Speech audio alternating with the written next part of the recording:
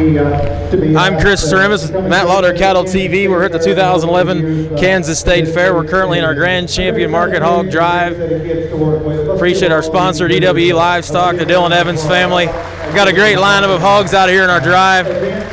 Standing here with Maverick Squires, a very uh, well-versed uh, hog producer. Maverick, what do you think of this lineup? Uh, extremely interesting set of barrows out here, and uh, looks like he's got a good set of hogs in terms of being consistent all the way through. Look good. Look to be real good. Certainly a really stout set from top to bottom. One of our favorites, I think, is that light cross. We think that one certainly got the chance to be the top hog here. Certainly lots of bone and, and power and shape, and still certainly sound enough on his feet and legs as he goes. As far as the hogs as you're concerned, obviously I know you like the light cross Maverick, but any other hogs that stand out to you that have a chance to maybe beat that one? Oh yeah, I think there's another barrow in here that's pretty neat. The dark cross, this belted barrow in front of us. I think he's pretty unique in terms of rib shape and moderation and still having squareness. I think he's pretty unique compared to that other crossbred because he's got some more rib shape and he's more opened up. I think he's got some neat things about him. And Galen's going to like that. I mean, he likes rib shape and squareness, and uh, that comes from being from Oklahoma, I guess. I guess obviously uh, you know the hog business a lot better than we do. I guess can you give us a little background on our judge and uh, where he's from and uh, sort of his background in the hog business?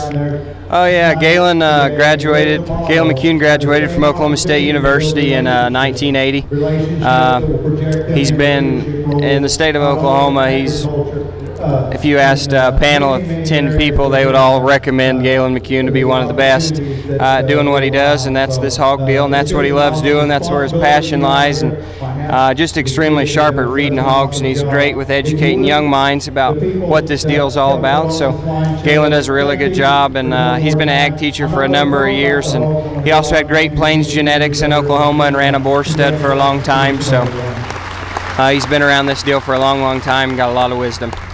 Well, it certainly sounds like our judge, uh, Galen McCune from Oklahoma, is very deserving of the opportunity to judge the Kansas State Fair, and he'll do a great job, as we can see from this lineup, an outstanding lineup of barrows. As Maverick said, once again, I'd like to thank our sponsor, DWE Livestock, uh, the, the, the, Dylan Evans family. Dylan's got an outstanding uh, hog operation going, if I'm not mistaken. He's been putting some great hogs in some great homes and been very, very successful the last few years. So once again, I'd like to thank Dylan Evans and all his support bringing you this live, or this coverage of the Grand Champion Hog. And yes, it'll be the Grand Champion Light Cross to be your overall Supreme Market Hog. Maverick, any final thoughts on that great barrow right there? Uh, congratulations to the family who uh, has him, and congratulations to whoever raised him, because that's a pretty darn good one. Certainly an outstanding hog. Congratulations to that young man right there, very deserving. Certainly was probably the overwhelming favorite out here, at least from what we could see. I think it gets a little bit closer for reserve, but I would imagine that dark cross, as you said, Maverick will be the one to probably be reserve. Uh, are you going to stick with that one? Um, I know this black-headed gilt's pretty interesting too, but I'm probably going to go ahead and leave my bet on the belted barrow. What's yours? Well, I like that uh, gilt there, the the black-headed gilt. She's certainly really neat to look at, but that uh, dark cross probably appears to have just a little more shape and and power to me, I guess, from the way I read them. But the two exemplary uh, hogs here in the Grand Champion Drive, he certainly could go any direction.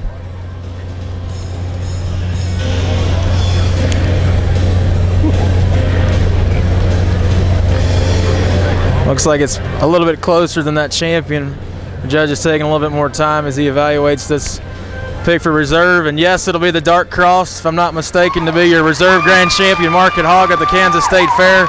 Congratulations to that young lady. It looks like the crosses will sweep the show here. The light cross to win and our uh, dark cross to be reserve grand. Congratulations to both of these exhibitors. Once again, thanks to DW Livestock. Uh, I really appreciate Dylan Evans' support. And be sure to check out his fall offering. He's got a great uh, offering of show pigs throughout the year.